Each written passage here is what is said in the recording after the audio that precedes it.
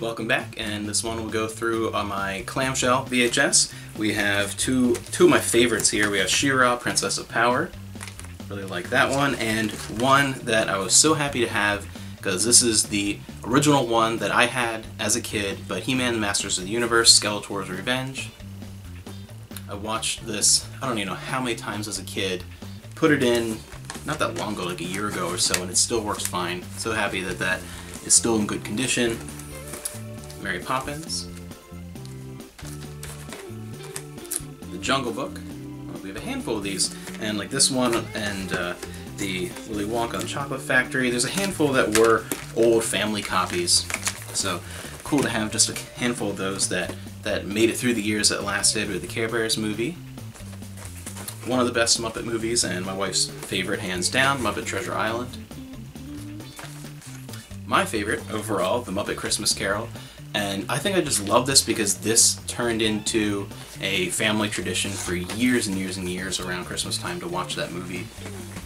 And I just, I absolutely adore it. We have two Sailor Moon movies, Sailor Moon Super S, Black Dream Hole, and Sailor Moon, the movie Hearts in Ice.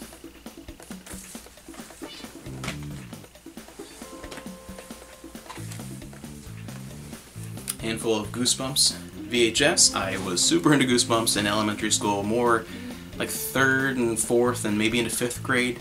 Uh, with the show and the books and collecting them all was just that was the, the popular thing. But we have A Night in Terror Tower, The Haunted Mask, Stay Out of the Basement, and The Werewolf of Fever Swamp. And I like for the Werewolf Fever Swamp the green that goes well with Goosebumps. Fantasia. And we have Rugrats the movie. I'm going to do a link a video. I have to remember to put that in the description at the end here. Uh, this is an important one because when she was a kid, my wife, Amanda, was in the commercial for this. If you remember, there was uh, an, an, entry on Nickelodeon where you could be entered to go to the studio and be there for the premiere of the movie and be in a quick little commercial, and she's in there with her family in the commercial. I'll link that below. Caddyshack. Hercules and Xena, The Battle for Mount Olympus, the animated picture, which is pretty mediocre, but man was I excited for this when this came out. I was a huge Hercules and Xena fan, and it's it's just kind of okay, but I didn't care. I was super excited. I rented this so many times before we actually bought a copy. A tourist videotape I talked about in a recent Pickups video from uh, Vienna one of the, I think, feel like lesser known Shirley Temple movies. I had never seen it before. I think she was a little bit older, and I think a lot of the ones when she starts to get a little bit older just they aren't included in as many of the collections and things that have been coming out, and they just are kind of to the wayside a bit more. But uh, The Blue Bird, and I had not seen this. Amanda saw it and loved it when she was a kid, and it was pretty good. I watched it with her, and I was surprised. It was good. Last, uh, oh no, it's a stack over there. Not last one. Uh, the Goonies. Gotta have that. 80s classic. Never get tired of that one. Snack over here. Castle in the Sky and Spirited Away. It's a little bit of Studio Ghibli. Puff the Magic Dragon. And Pete's Dragon. Beauty and the Beast.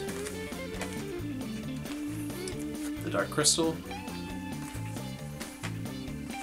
And this is really cool. I really like this. Limited Gold Edition Cartoon Classics The Disney Dream Factory, 1933 to 1938. Uh, this is Amanda's old one from when she was a kid and still in decent shape. Really, really good release. These are just excellent if you've seen any of those. Any of the sort of silly symphonies, any of that kind of stuff. And now the last tape here. Probably this most ridiculous one of the bunch because it's just plain stupid. Uh, Ninja Turtles The Next Mutation. Oh, man. Do you guys remember this? I actually have uh, a volume of the series on DVD too. It is so bad. I mean, just really bad. But for me, it, it goes into that territory of like so bad it's good because it's just laughably terrible. Uh, and I just really enjoy it because of that.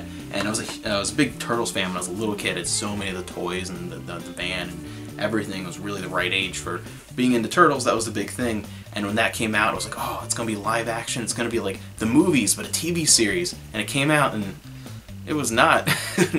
uh, but it, it's rewatching it as I got older. I liked it more. Hated it when it first came out, but I liked it more as I got older. So wow, this is this is really funny.